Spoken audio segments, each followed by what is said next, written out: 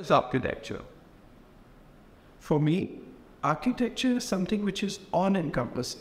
It is something which literally we sit in, we sit with it, and it's something which influences everyone's life in all sorts of ways.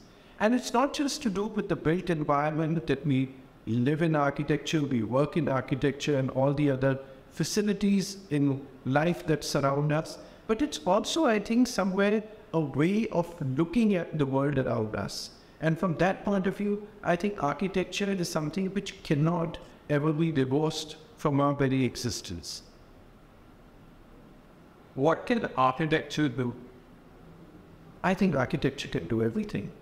If we go by what Sir Winston Churchill said, that it shapes our building, that reshape our buildings and then buildings shape our thoughts, to actually how our life is influenced by the kind of built environment that we are in. So I believe that architecture can actually influence how humans think and behave and react to situations.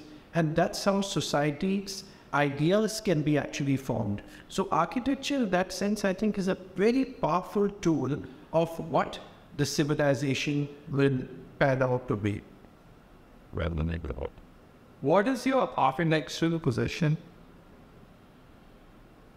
I would say my architectural position is the very fact that we need to understand and appreciate the power of architecture, the ability and the kind of uh, you know potential architecture has. So my own position on architecture is that we as architects need to really truly be the future thinkers. We need to be able to look into the uh, give up really the deep horizon and be able to it through our work, through our writings, through our talks, we are able to shape the way society is going to find its ways and uh, of living in years and decades and centuries to come.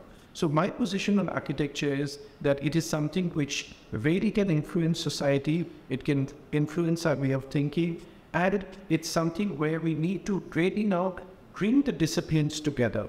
You know, this 20th century notion of over specialization, of course, it, there's always a strength in the specialization of a domain.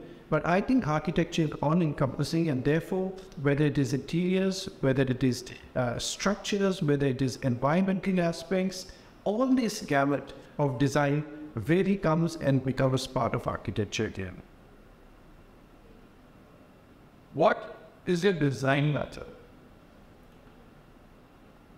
My design method is really to, you know, break the silos, as I said, of different fields of design bring them all together, start looking at how architecture and society coexist, how architecture, the built component of architecture, the built environment and nature coexist, how art and architecture coexist. So in that sense, really, I feel that architecture, we break all these aspects together and we, we really, whatever we create should be a reflection of all these ideas and reflection of all these disciplines. And that's the way to